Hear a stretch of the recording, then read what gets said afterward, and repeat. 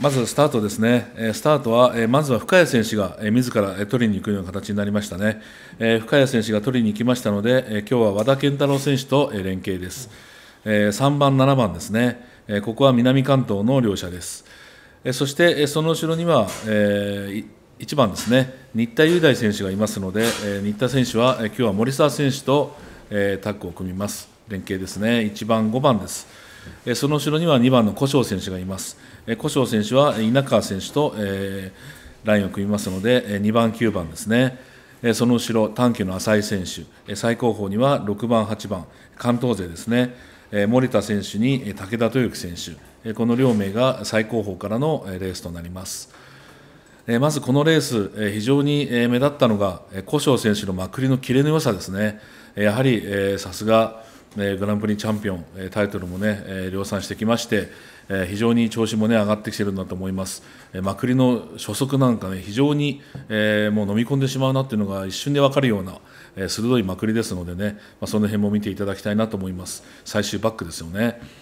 そしてそれに合わせる形で新田選手でしたけども、まあ、新田選手も最近、非常に先方の幅が広がって、まあ、内に外に縦横無尽に走るようになりましたよね。えー、今回祭もえ、新田選手は、え、初日ですよね、野口選手の先行の8番手から、えー、内をついていって、え、外、え、伸びて1着、え、そして今日も内側ついてきましたから、まあ、その模様もね、見ていただきたいと思うんですけども、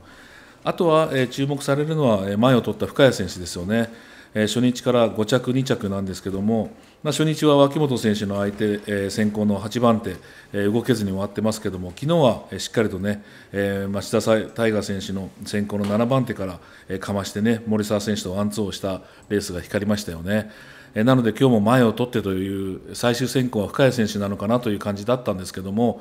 まずは後方から森田選手が抑えてきましたね、そして2番の古性選手がそれについていく形になって、新田選手もそれについていく形になりましたね、そして前を取って引いた深谷選手が8番手から一気に打賞でかましてきましたね、その時に後ろの和田健太郎選手が少しねマークを外してしまったんですよね、それを見ながら内側からね新田選手も前々に行って番手にはまってしまいましたので、まあ、やはりここは非常に展開が向きましたよね。えー、深谷選手が先行で